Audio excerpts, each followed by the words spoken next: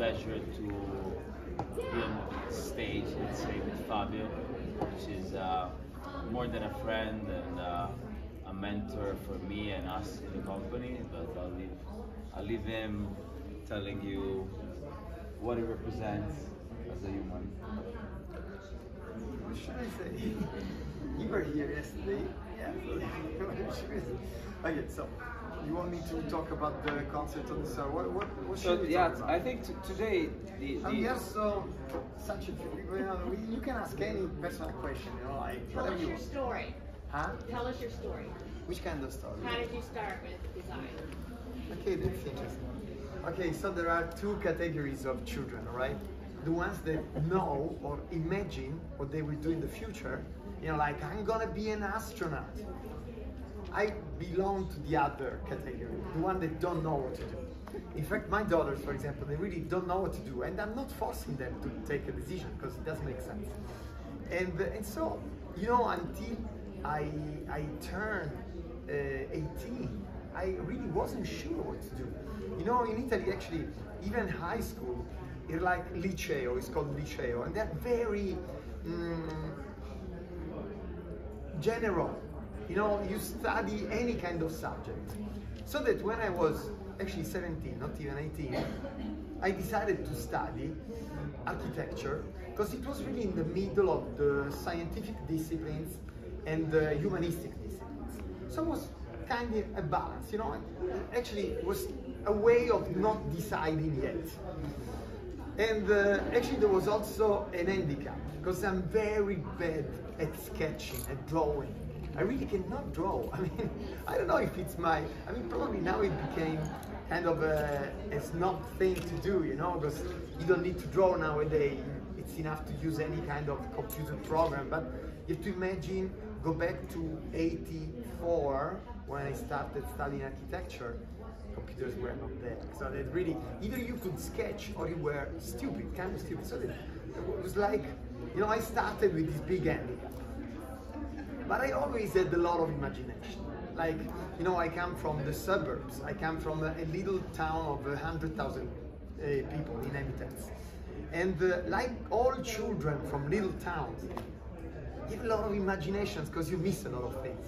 you know, I really, I can see my daughter. I mean, the, why I say that? Because I compare my daughters. They live in Milano. They were born in Milano. Big city is full of things, but for a child, you kind of suffocate. It's it's a big pressure. And anyway, so I went from the little town to Milano, and Milano was like an explosion to me. I was like moving to another planet. I was saying, "Oh my God, here you can do anything." It was amazing. So I lived the years of uh, of university like the discoverer of the world for me, really.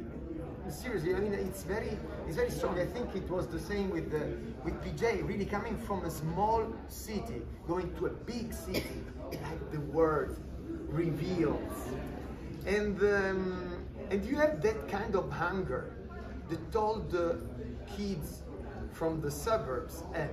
I had a lot of hunger. Hunger means that you're angry, right? Yeah.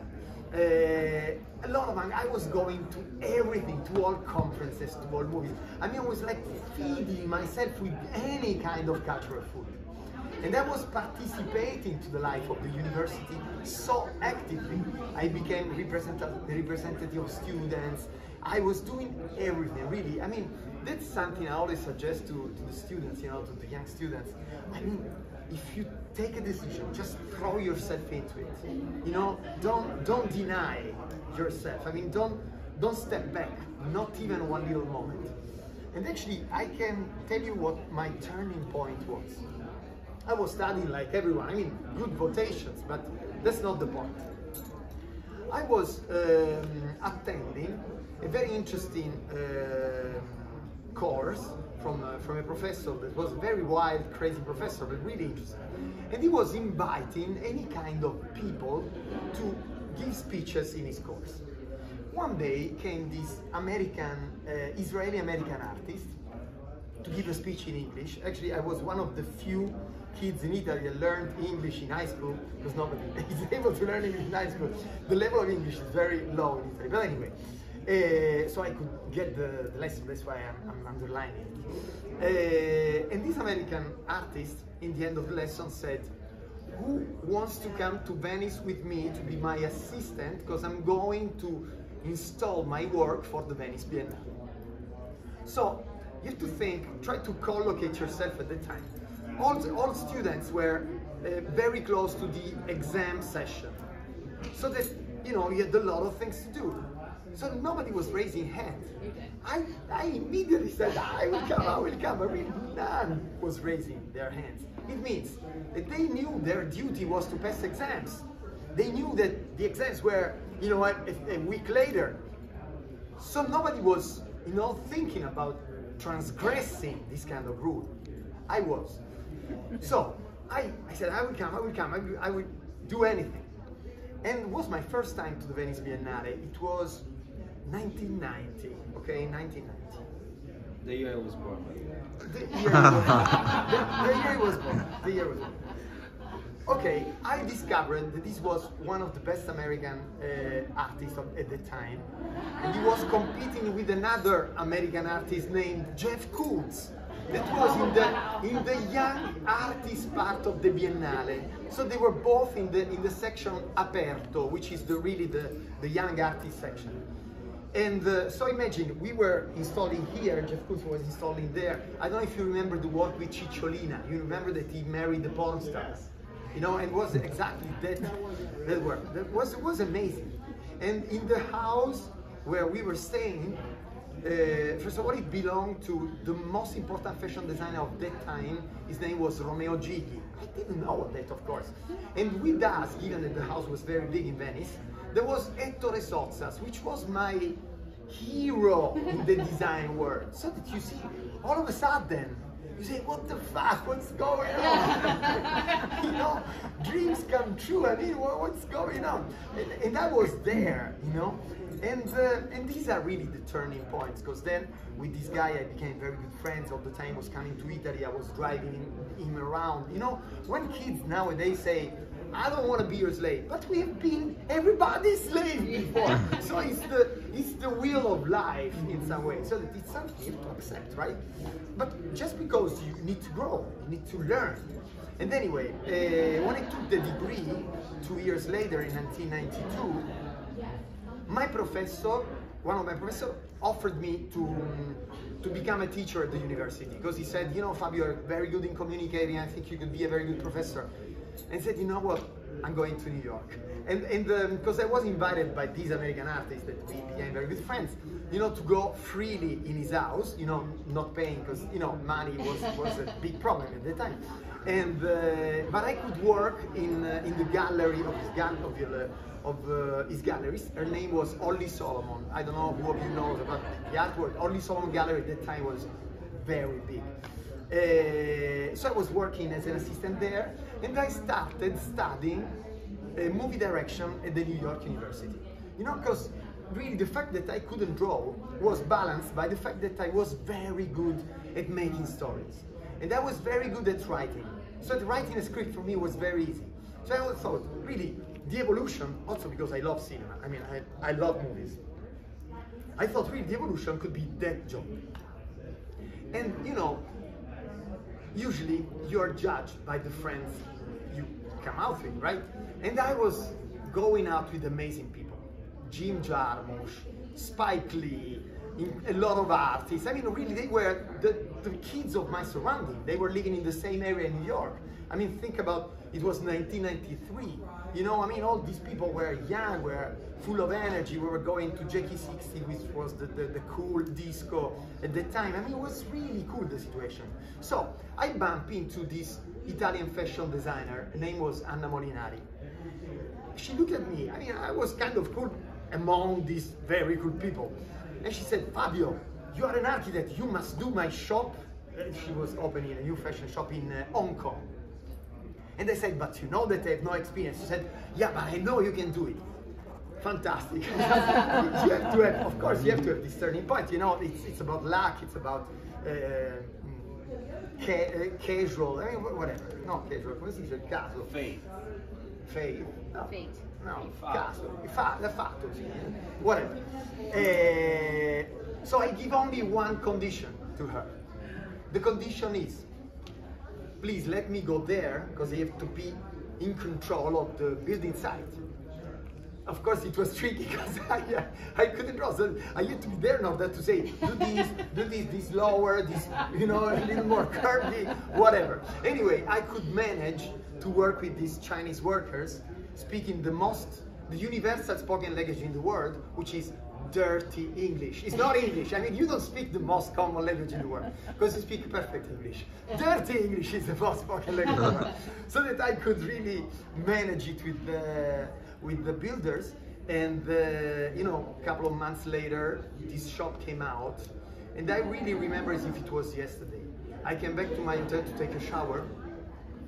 Uh, you know, so that I, I dressed up myself and I came back to the shop the shop was already full with guests and stuff. And I seriously can tell you, I mean, I'm very honest in that. I could see it from the outside and I could say, fuck, it's beautiful. You're good at that. You're good at that, you know? I mean, that was very important. I'm very, very much honest to myself. I've always been very much honest to myself. So I said, hey, you can mix things, you know? You have a, a background in architecture, you wanted to make movies, the fact is, and, and, actually that's another thing that I didn't tell you, I saw the project, the idea of the project, through a script, which was kind of crazy. I mean, you didn't show drawings. I wrote a story, and she loved the story. So then I thought, really, you can kind of make movies in 3D. You know, before the 3D movies of like Avatar or whatever. But, but really, it was like you could manage the space in order to leave it as if it was a movie and seriously, I mean, it, it was very satisfactional for me. I mean, I, I loved it. Plus, there was my uh, the most beloved uh, actress at the time was Gong Li. You remember the wife of Zhang Yimou? I mean, it was really like she was at the opening. It was really like the the, bapti- the baptism for me. I mean, it was like, okay, now I make you chevalier. uh, and uh, and everything started from there because really. Um, she, the, the fashion designer Anna Molinari sent me to London to open another one. Then uh, my friends in Milano said, Fabio, you became a big star of architecture. Actually, actually, this is another little secret. At that time, of course, anything you could do, if you were not able to communicate it, st still nowadays like that, it was nothing. I mean, it wouldn't exist. So that I spent kind of a big money in proportion to the time on a very good uh, photo shooting of the shop. Why? Because of course I had all my friends which were becoming journalists and whatever, so that I immediately sent them the pictures of the shop, and it went Uh, viral at that time. no, seriously, it was published all over. So that of course that's how you build a reputation. I mean, it's very important. If you do things and nobody sees them, my God, I mean that's the that's the handicap of architecture because you have to visit it physically. But if you have very good pictures, it can be communicated. And so all my works since then have been very well photographed and they've been viral. I mean, I've had hundreds of covers of, uh, of uh, architecture and design magazines, and that helped a lot with the reputation, of course. And then, I mean, obviously, you do a good job, you do another good job, the third one will come. If you do another good job, the fourth one will come. I mean, it's the story of life. But really, it, it was interesting to explain the turning point because everything is accidental. You know, if I didn't raise my hand that day in that classroom, probably nothing would have happened. And uh, you know, I would have gone back to Lecce, the, the, my little town in the south of Italy. And you know, things are like these. You know, probably the secret is to never say no. To always say, yes, I'm open, yes, let's do it. You know, that's still my approach to life, and that's what brought me here. Listen, and how did you um, cater your, your, your approach in being a storyteller and a movie director and an architect into our, let's say, retail reinvention and our project of translating, let's say, Mediterranean hospitality into a store concept? I mean, that was very easy. I mean, because, I mean, we're very good friends. Also because we really come from the same place. I mean, I know how we grew up. he imagines how I did. I mean, even if there are many years of difference, but really, the, life doesn't change much in our part of the world. really, everything stays the same. That's amazing.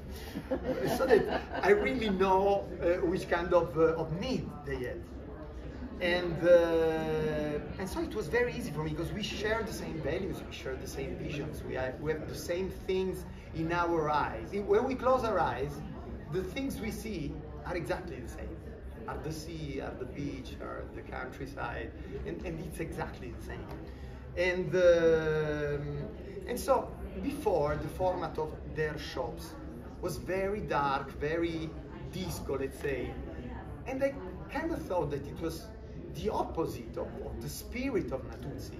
I mean, Natuzzi is born Mediterranean. I mean, we are in a, in a part of the world which is really a, a cultural bridge of communication. I mean, you have to think that um, we, you know, when um, the, the um, uh, when the Greeks wanted to conquer Italy, they went through Puglia uh, or the Turkish or whoever. You know, we've always been a bridge on the Mediterranean, especially on, on the on the um, east side of the Mediterranean. And uh, and so we are open. We are really culturally open. We we're ready for anything. We're, we are ready to embrace any kind of culture. Actually, one of the masterpieces of architecture in, the, in our region is something built by Federico II of Svevia which is a beautiful castle with an octagonal shape. I mean, so that everything has gone through Puglia. I mean, this is something that is in our DNA. We embrace situations. So that I thought, my God, we have to, to show this through space. Plus, you know, uh, raise your hand who knows which is who is considered the most important architect in the world. Who do you think is considered architect in the world? Oh, architect not living, eh? I mean, historically. Oh, wow. This is a Frank test Lloyd just to Wright? understand. Frank- Frank Lloyd Wright is too young. He's too young. Who? Zaha Hadid. Zaha Zaha is too young as well. Who is the, you know, like the, The the, the did the wall. founding uh, image of modern architecture? Vesuvius. Who? Vesuvius. Vitruvius, no, Vitruvius wrote um, manuals. No, no, I'm talking about real architecture. Who built? Okay, I'm going straight to the point. Le Corbusier. Okay, think about Le Corbusier. Le Corbusier basically is the one who started talking about modern architecture. You know, he took an invention of the uh, Perret brothers in France, which was the Béton Armé. You know that, of course, we can build architecture this way because these two guys in France thought that the the, the expanding uh, of, uh, of metal and uh, cement could fit in order to build big structures. And Le Corbusier was the first one to apply it to real scale. So Le Corbusier, by everybody, I mean, you can ask to Zaha Hadid and she's dead, but you can ask in a, a uh, whatever, and you can ask Frank Lloyd Wright. They both know that Le Corbusier is the one. Okay, but why I'm telling you that? Because Le Corbusier tried all his life to replicate Mediterranean architecture. He was Swiss. I mean, this makes me laugh so much. He was Swiss, but he thought that Mediterranean architecture was the peak of, uh, of the imagination. I mean, you couldn't go farther. So they said, fuck, we have it. We are the Mediterranean architecture. We have all the codes. Let's just apply them. You know, and yesterday, if you were here, I was saying that, you know, a very important invention of, uh, of the Greek culture that we, uh, we pay tribute to it is the agora. The agora was an empty space where everybody could gather. And I turned the shop into a big agora, applying something as well which belongs to our traditional culture, which is the luminarie. You know, it's full of lighting walls that are dedicated usually to celebration. You know, so that for us was Mediterranean spirit, celebration, agora, colors and uh, and um, uh, nuances of, of our land. And these were the ingredients, super easy. And we could shape the space so easily, so fluidly. You know, and it's totally another feeling. I must tell you. I mean, I'm very proud of that because compared to the to the last format, it's, it's another thing completely. It gives a different perception of what Natuzzi is. What what actually its DNA is. Because really before was wrong. Before was another thing, was not explaining what Natuzzi is in in its roots, you know, in its real essence. Did I answer your question? You did. I guess it's over. We have to, I think we have to, time's over. Any question that we might answer, our, our storyteller here can answer? I mean, No, that explains why I love anything that's made in Italy. Truly. I love anything. Okay. Anything that's made, I, if I, it's a bar soap and it's made in Italy, it's beautiful. I okay. I don't want to be chauvinistic, okay? Because I hate that, you know. Because everybody thinks that his own country is the best in the world. So that I have another opinion about it. It's true. Italy is the most, is one of the most beautiful places in the world. But we Italians cannot be chauvinistic because we are just lucky to be born there.